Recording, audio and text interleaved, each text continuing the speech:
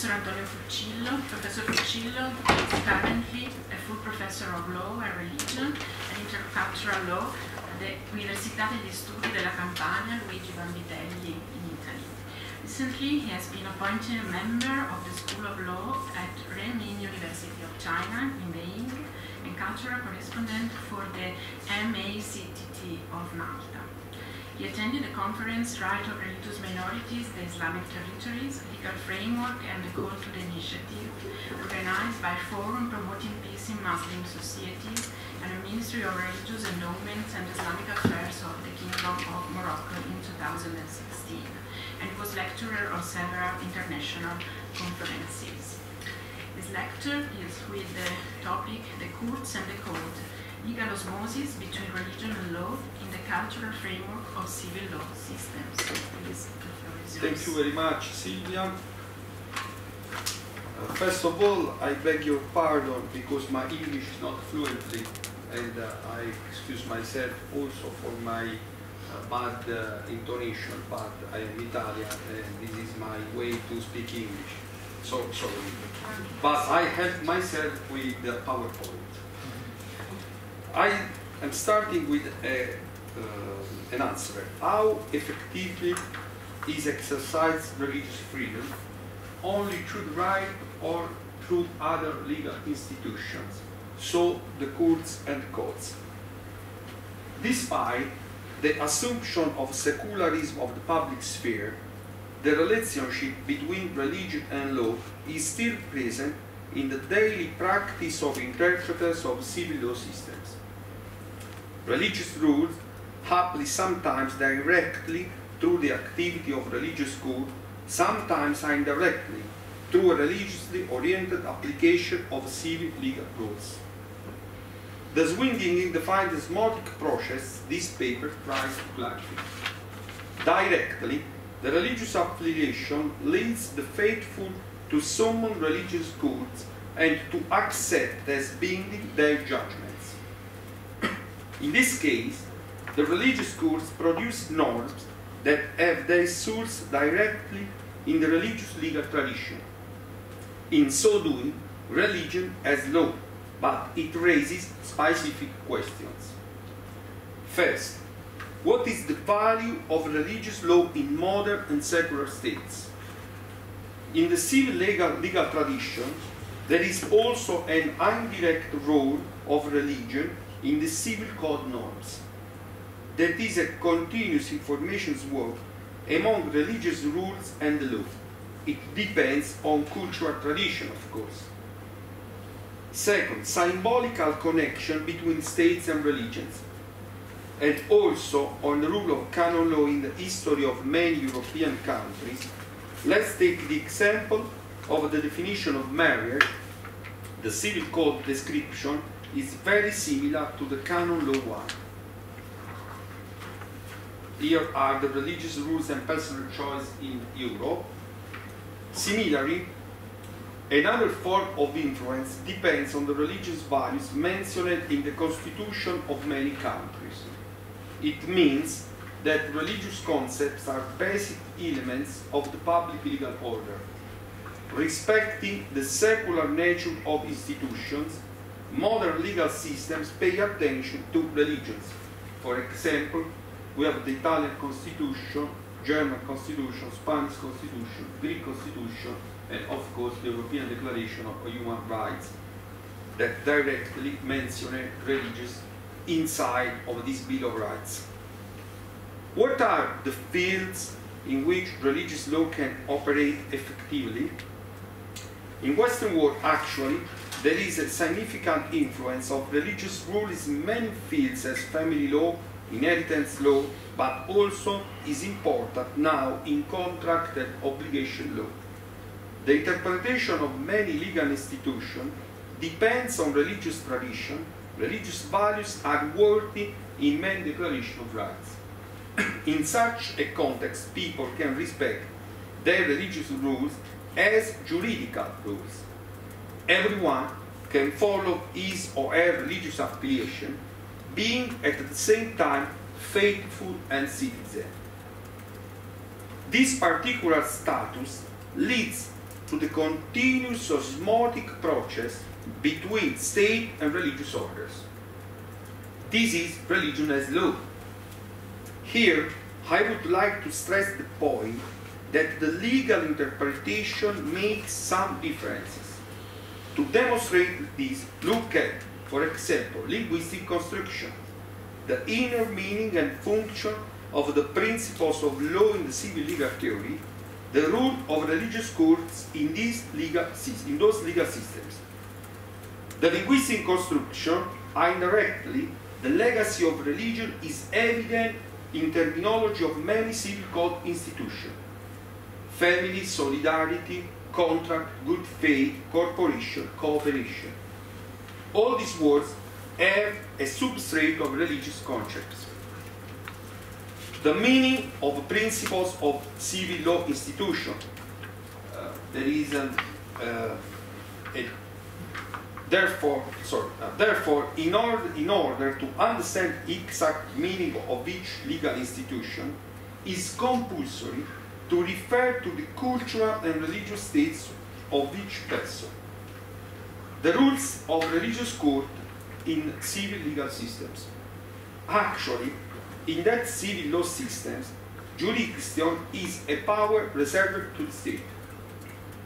Is it possible to apply religious law in that context? There are two possible ways to achieve this goal. First, in rare case of direct referring to religious law. Second, the state in rare cases reserve the jurisdiction in certain matters directly to religious groups. We have some example, the, the most important that I found, is, for example, Dutch Supreme Court in a, in a divorce requested a woman requested that her husband be ordered by the court to cooperate in a procedure before a rabbinical court in order to procure a divorce in accordance with Jewish law. The Supreme Court tried to reduce the problem to a balancing of interests within the framework of the law on unlawful conduct. The Supreme Court referred the case to Court of Appeal in The Hague, which ordered the men to cooperate under threat of a judicially, imposed penalty. An expert in the field of Jewish law also remarked that the compliance of the man with the order of the court to procure a get under the threat of an imposed penalty would result in a false get, which, according to Jewish law, is invalid. Therefore, the deal would not cover it. Second, in Belgium, there was a particular case of Islamic Sharia directive application, called Belgium Sharia courts. A case of a direct application of religious law is also in Italy. Uh, civil law system, Tribunale di Milano. The case concerned Jewish husband and wife who contracted marriage in Israel and who asked for a divorce certificate before the rabbinic court of law, which grants them the laws of the state of Israel. There are many cases, of, of course, in the common law system, for example, the MAT uh, in England, but there is also a breaking uh, news that you, you, don't find in the slide, uh, because uh, in one of the states of uh, Brazil, uh, um, there is an institution of an experimental mediation program where clergy are uh, mediators inside this uh, particular judgment.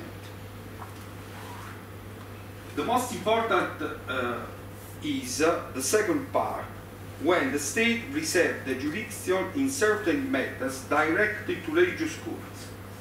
The examples are Italian Spain, where works especially ecclesiastical courts that have the jurisdiction upon canonic marriage. These courts apply canon law, but their judgments have power in the state legal system. In this way, an ecclesiastic jurisdiction operates with full power. The jurisdiction has recently been confirmed, for example, by Italian Supreme Court. Here you can, say, you can see uh, statistics about the Catholic annulment cases. More recently, many civil law systems are testing the possibility to turn to arbitration courts. This happens in many fields, family law, business law, contract law. Is this the evidence that people prefer to solve their private affairs using the religious arbitration courts?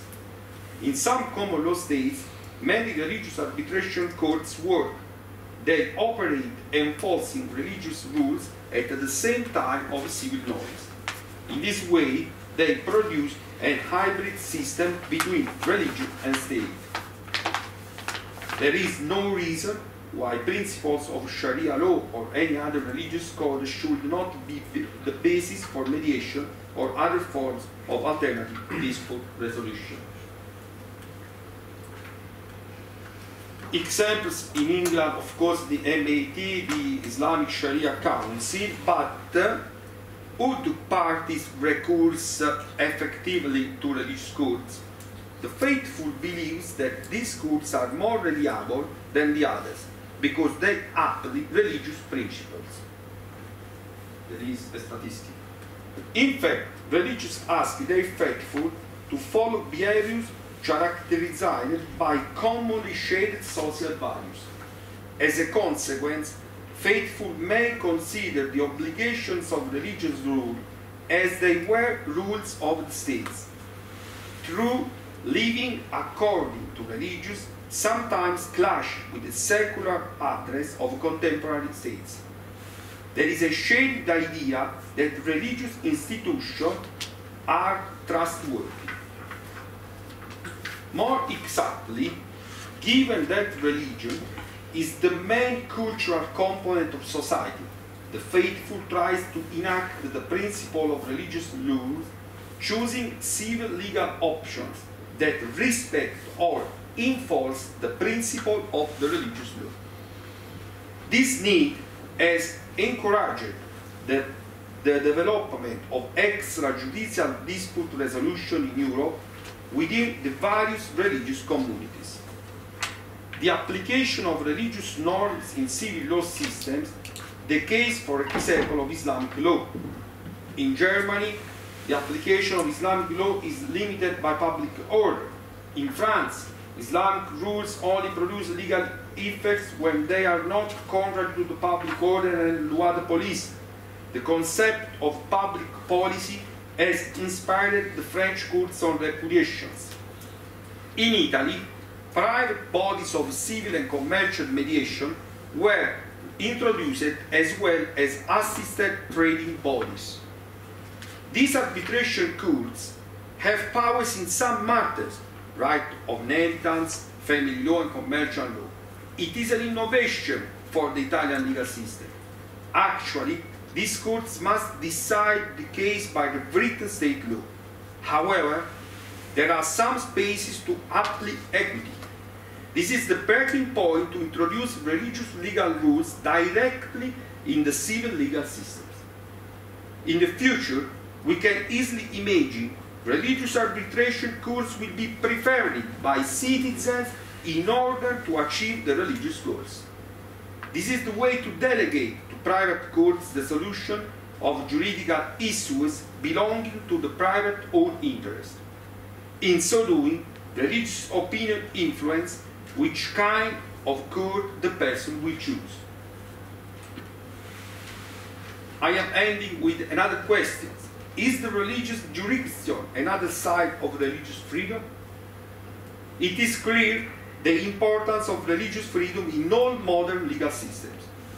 This is funda fundamental human right must be regulated not just like an, an empathy declaration, but it must be filled by operating contents. In this way, we collocate the space given to religious cults. As a conclusion, we must exactly frame the space to give to religious cults in civil legal systems. In fact, religious beliefs are important for believers. All jurists must work to improve the quantity but also the quality of religious freedom, to give to everyone the right to be himself. One senses a discomfort of sorts toward religious and religious phenomena in its entirety, having filed attempts to expel the religious from civil life. There are countless cases of religious discrimination to which the same legal systems are incapable of reacting. the laws that guarantee religious freedom do not always make this freedom fully operational. The great Western democracies, with their apparently development societies, are not entirely immune for the discriminatory practice. Such conducts are often justified as acts of defense of secularism. All of these problems are the result of majority behaviors and not of modern intercultural secularism. The contemporary jurists must face these new challenges for the protection of religious freedom. The traditional defense of religious liberty is not enough in this perspective. We need to increase the quality level of religious freedom through the provision of new and more effective legal instruments. For that reason, it is important to offer everyone equal opportunities. All jurists must work to improve the quantity and the quality of religious freedom. In so doing, the principle law as religion and religion as law also occurs. Thank you very much.